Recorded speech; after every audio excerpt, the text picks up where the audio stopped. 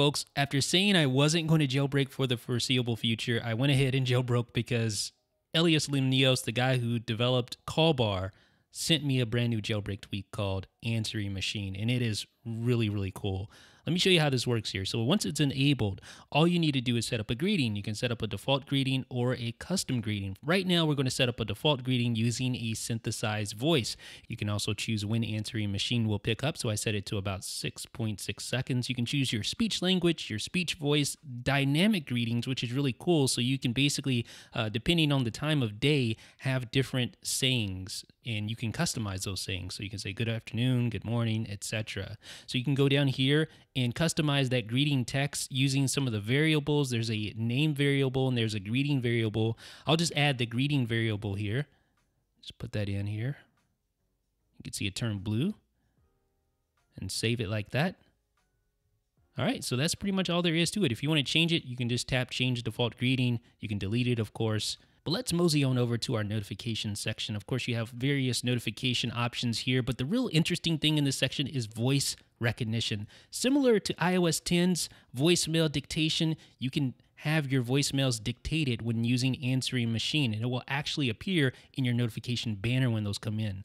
And then you have remote commands. This is incredibly awesome. So basically, this allows you when you set a passcode, you can dial your voicemail, dial into your voicemail, use touchtone to do things like request location, uh, remote respring, request a reboot.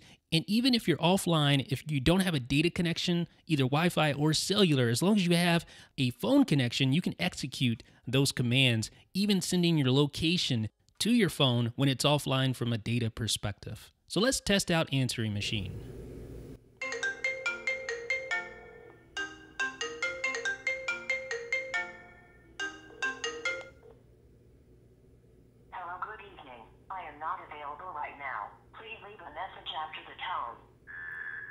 Hey, when you get this message, call me back. Thanks.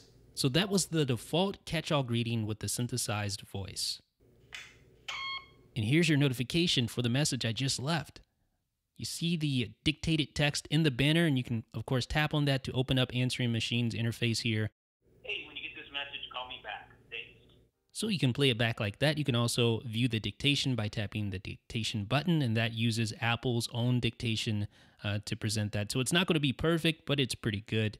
If the person speaks clearly, you can share with other applications, etc. Now we're going to add a per contact greeting here. So this is based on a contact that we select, and I'm going to actually record my own greeting. After I change the answer threshold, just tap the red button.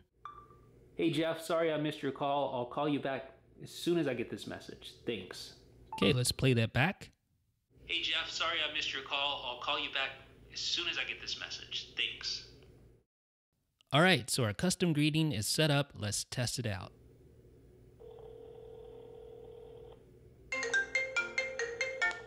So I declined the call so it picks up. Hey Jeff, sorry I missed your call. I'll call you back as soon as I get this message. Thanks.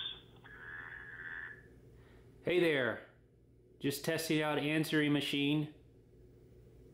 And it's really cool. You even got a little skeuomorphism going on.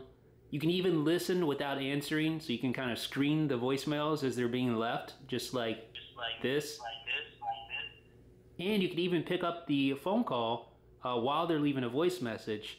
So if you if it's someone that's leaving a message, you want to talk to them immediately, you can just press talk like this and uh, start talking to them.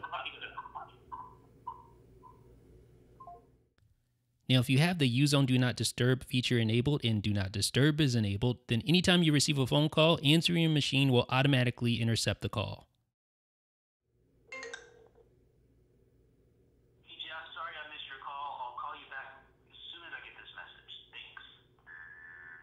But here's what's really cool. You can manage your messages from a remote phone using touchtone.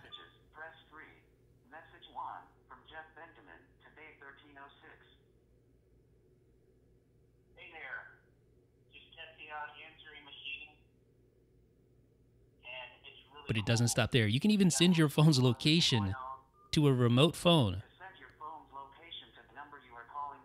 using touchtone. You can even respring Press 4. To return to the main like this. Press asterisk. Restarting springboard in 5, 4, 3, 2, 1. Goodbye. Leave us a thumbs up if you appreciated this video, and let me know what you guys think down below in the comment section. This is Jeff with 9 to 5 Mac.